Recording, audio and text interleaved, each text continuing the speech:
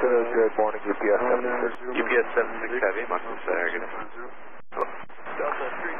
Yeah, 988. I'm just looking at your route, sir. How about clear? In today's video, we are going to cover the initial download and setup of Euroscope. This is the first step to your journey in controlling with the Moncton FIR. At this stage, you, as the student, shall have completed the VATSIM S1 exam and have requested to join the Moncton FIR. If you have not yet passed this exam, please reach out to the FIR chief at firchief at czqm.ca for further instructions. If you encounter an error during the installation of Euroscope and the associated files, please take note of the error and email engineer at czqm.ca with the description and a photo of the error if possible. If you have joined our Discord channel, you may also post the error there, and other members may be able to assist you.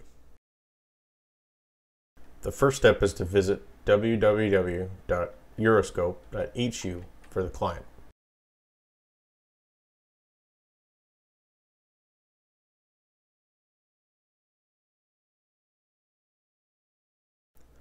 Along the drop-down bar, click Download Euroscope.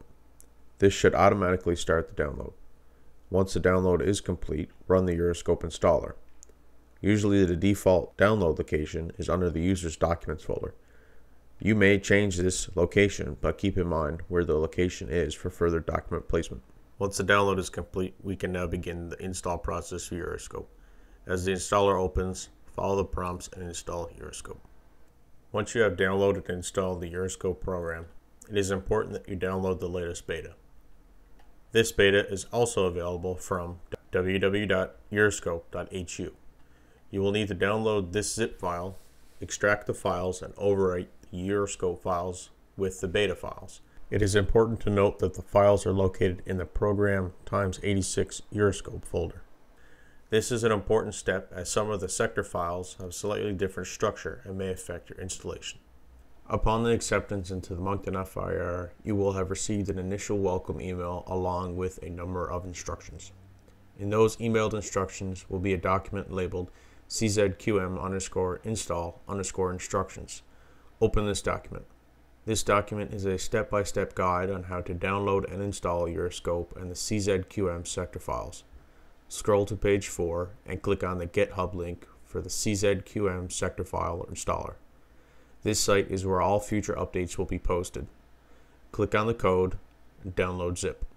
Once the file is downloaded, open the zip file and navigate through the folder and run the canscope.exe file.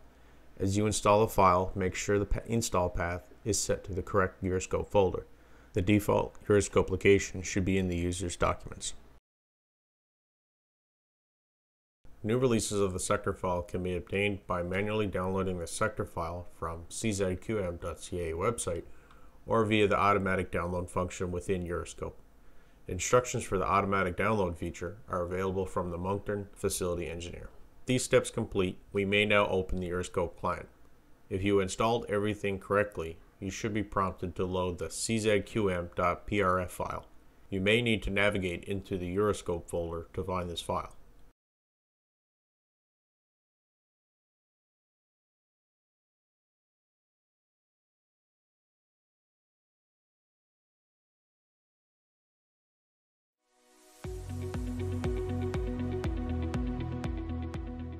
This video is now complete. Be sure to subscribe to the Moncton FIR YouTube channel to stay up to date with training videos and explanation videos. Also, like us on Facebook to stay informed about all events and progress.